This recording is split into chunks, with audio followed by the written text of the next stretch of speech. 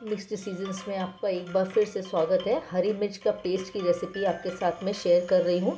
बहुत ही आसान रेसिपी है, सिर्फ़ पाँच मिनट में बन जाती है ये रेसिपी सुबह की भागदौड़ में, खाना बनाने में, समय मैनेज करने में बहुत ही मुश्किल होती है। ऐसे में अगर अदरक, हरी मिर्ची, लहसुन का पेस्ट आप बनाकर रखें तो थोड़ा समय भी बचाया जा सकता है। चलिए तो मिर्ची के पेस्ट की ये रेसिपी देख लेते हैं। यहाँ पर मैंने 250 ग्राम हरी मिर्च ली है और यहाँ मैंने हल्के हरे रंग की मिर्च ली है। यह कम तीखी होती है। इसे मैंने धोकर अच्छे से सुखा लिया है। आप देख रहे हैं कि मिर्चियाँ कितनी ताज़ी हैं और कहीं से कटी हुई या कोई धब्बे लगे हुए नहीं हैं। इसी तरह की आप फ्रेश मिर्ची मार्केट से लेकर आएँ। मैंने यहाँ पर मिर्चियों को काटने के लिए एक कैंची का इस्तेमाल किया है, जिससे ना मिर्ची काटना बहुत आसान हो जाता है। आप चाहे तो चाकू भी यूज़ कर सकते हैं। सभी मिर्चियों को काट कर एक बड़े बोल में निकाल देंगे और इस तरह डंठल होती है ना, उसे हम निकाल कर फेंक देंगे। उसका हमें इस्तेमाल नहीं करना है। यदि आप गहरे रंग की तीखी मिर्चियाँ पसंद करते हैं तो आप हल्की रंग की इस मिर्चियों की जगह पर उन मिर्चियों को भी ले सकते हैं। चलिए मैंने सभी मिर्चियों को काट कर यहाँ पर रख लिया है।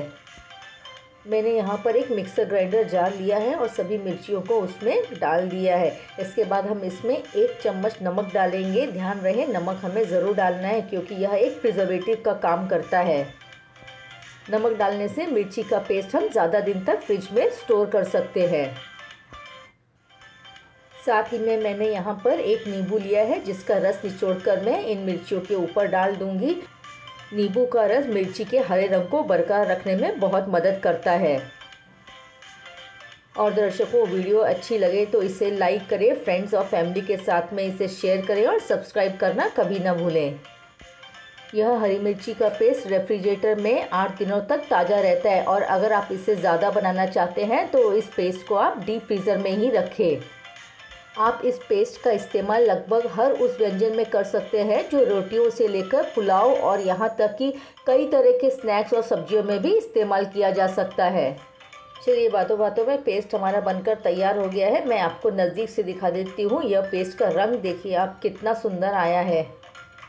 चलिए पेस्ट को दूसरे बर्तन में ट्रांसफ़र कर लेते हैं और अब हम इसमें डालेंगे दो चम्मच तेल। आप यहाँ पर कोई भी तेल इस्तेमाल कर सकते हैं। खाने का यह तेल भी प्रिजर्वेटिव का काम करता है।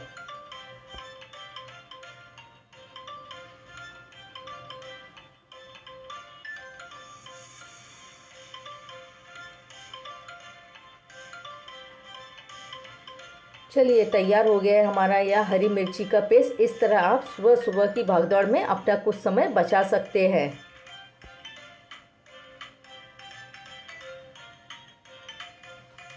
मैंने यहाँ पर एक एयर टाइट कंटेनर लिया है। मैं सभी मिर्ची के पेस्ट को उसमें ट्रांसफ़र कर दूँगी और इसे फ्रिज में हम अच्छे से रख देंगे।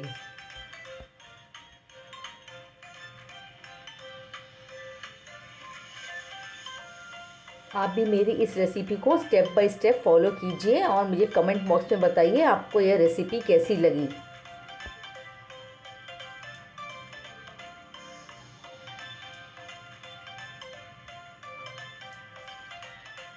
वीडियो को अंत तक देखने के लिए आपका बहुत बहुत धन्यवाद। फिर मिलेंगे किसी और मज़ेदार रेसिपी के साथ। तब तक खाते रहिए, खुश रहिए।